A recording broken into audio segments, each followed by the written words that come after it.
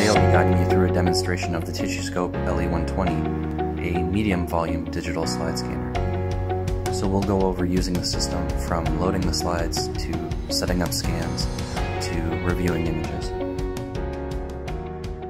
So let's get started.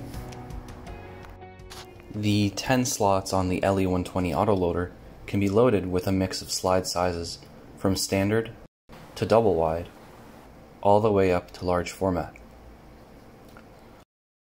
Once slide holders are inserted, the user can click on the preview button in the user interface to acquire a preview image. As previews are acquired, they appear on screen. The preview is necessary to ensure the accuracy of the final image. On each slide, you'll see three parameters, the region of interest, focus dots, and white balance.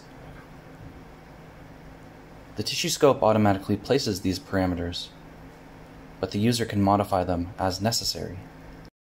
Also from this screen, the user can give each slide an individual name, or change an individual magnification, or individually enable Z-stacks.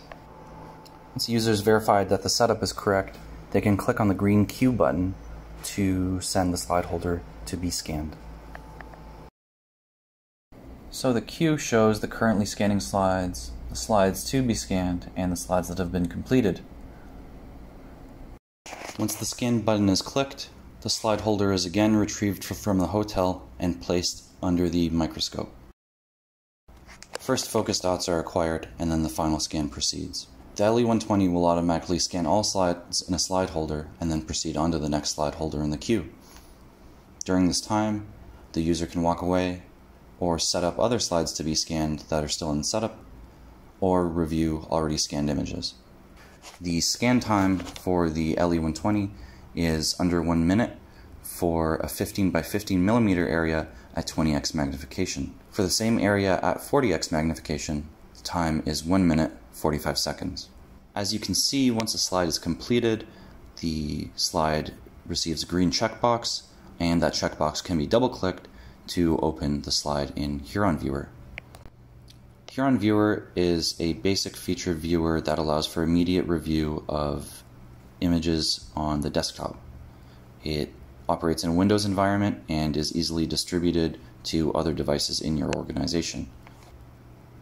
In addition, it provides some basic annotation tools. The TissueScope LE120 outputs a BIGTIFF file which is compatible with a number of third party analysis and management applications as it is an open file format. The TissueScope LE120 provides a number of flexible features for different scanning needs, including various image resolutions, compression schemes, barcode reading, and scanning templates for routine slide preparations with identical regions of interest. To learn more about these features or receive a quote, please contact one of our representatives today. Thank you for watching.